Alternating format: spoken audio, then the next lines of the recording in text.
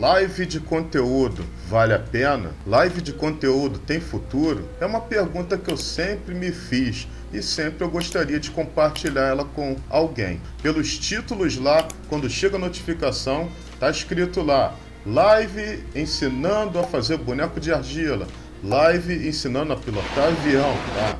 Sei que também é exagero. Mas aí eu fico pensando, um conteúdo que dura duas, três horas, uma hora e meia, será que quando a pessoa digita lá na busca lá do Google ou do próprio YouTube, aí cai esse vídeo lá, a pessoa vai parar para assistir esse conteúdo para tirar uma dúvida que tem lá? Que aí você leve em consideração que existem outros vídeos assim com este conteúdo, mas com muito menos tempo. Aqueles chamados vídeos de playlist de 3 minutos, vídeo de 3 a 5 minutos. Será que a pessoa vai preferir optar por um vídeo desse de 2 horas ou mais do que assistir um vídeo de conteúdo verdadeiro?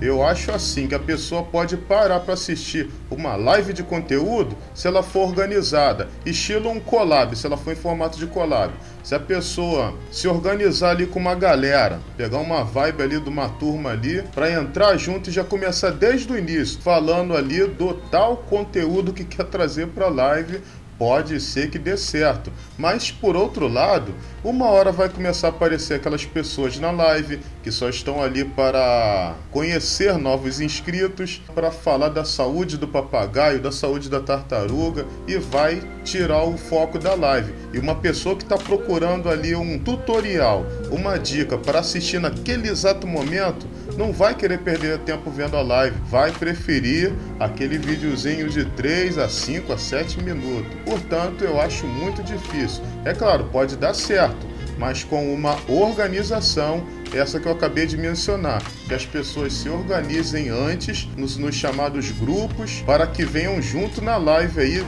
para que desde o início o conteúdo seja mostrado. Que é só aquele tempinho ali inicial ali. A live começará dentro de alguns instantes. Só ali a galera já cansa, meu, de esperar que as pessoas andam muito ansiosas hoje em dia, até para assistir um vídeo, um vídeo de conteúdo verdadeiro. Se a intro for grande, se tiver muita lenga-lenga, muita falação no início, a pessoa já troca por outro vídeo. Portanto, Espero que tenham gostado desse, desse meu conteúdo também, apesar de curto, mas foi só uma passada rápida. Se gostou, não deixe de deixar o like, se inscrever para assistir outros vídeos deste mesmo naipe aqui neste humilde canal. Valeu!